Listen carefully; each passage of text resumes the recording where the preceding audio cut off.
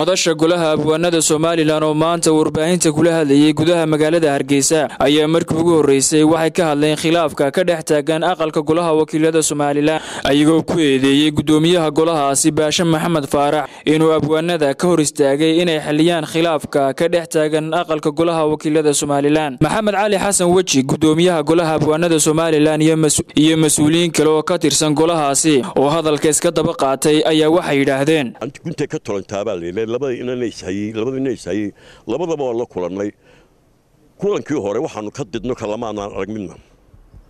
waxaanu ku codsannay markaa iyaga markaanu la talinay u sheegnay wixii iyaga xaggooda nagala gudboonaa iyana ay noo sheegeen waxay tirsanayeen waxaanu iyana aan la kulanno labada guddi ee ay magacaabeen oo maalintaa la filiyey baroo inay kulmaan labadii guddi ilaa maanta horta may kulmin oo waa ka war haysaan inaanay kulmin annagu waxaannu isku daynay inaannu labadaa guddi isu keenno golaha wakiiladu iyo golaha guurtidu marka la isku daro baarlamaan baa laydhaa kolka kalena wakiilla iyo guurti baa horta la kala ydhaa kolkaa baarlamanka wakiiladii oo laba u kala fadhiyaa duruubtaan ii saabaxayn horta ina fadhiisto.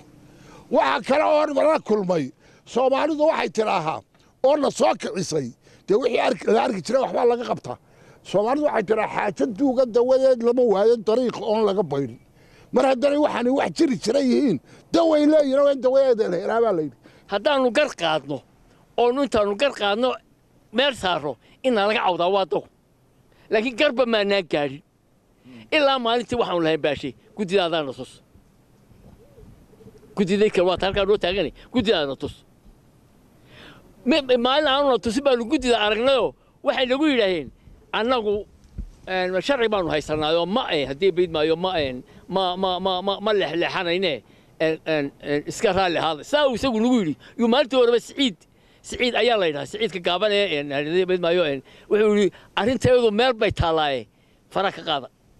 Saddexdooduba sidaa muusena yidhi iyo si la mida ayuun bayna wada yidhahdeen saddexdoodana waanu mahadnaqayna ciddii aanu u tagnay ama golaha guurtida ha noqoto ama madaxweyneha ha noqoto ama saasaan qolo waliba si sharaf leh ayay noogu kacday. Iminkana sharaftii baanu u haynaa. Dalkana intaanu nool nahay qofba waxbuu u nooliyey. Annaga waxba nalama siiyo